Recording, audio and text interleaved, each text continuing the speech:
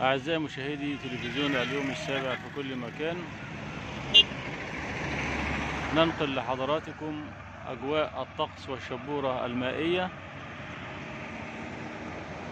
من محافظة الشرقية طريق الزقازيق القاهرة الزراعي.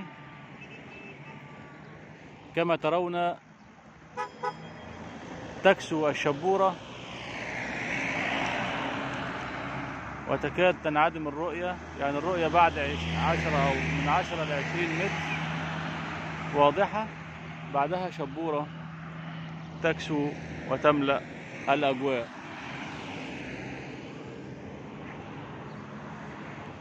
هذه هي سماء محافظة الشرقية ملبدة بالشبورة رغم أن الشمس أشرقت إلا أنها لم تظهر حتى الآن بسبب كساء الشبورة كما ترون.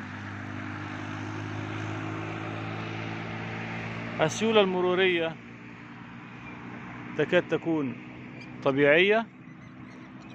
السيارات تنطلق بسرعاتها. بنهيب أيضا بالسائقين بتوخي الحذر.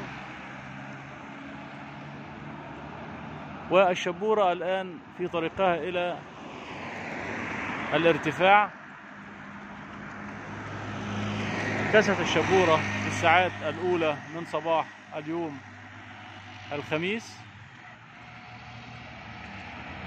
وبدأت في الارتفاع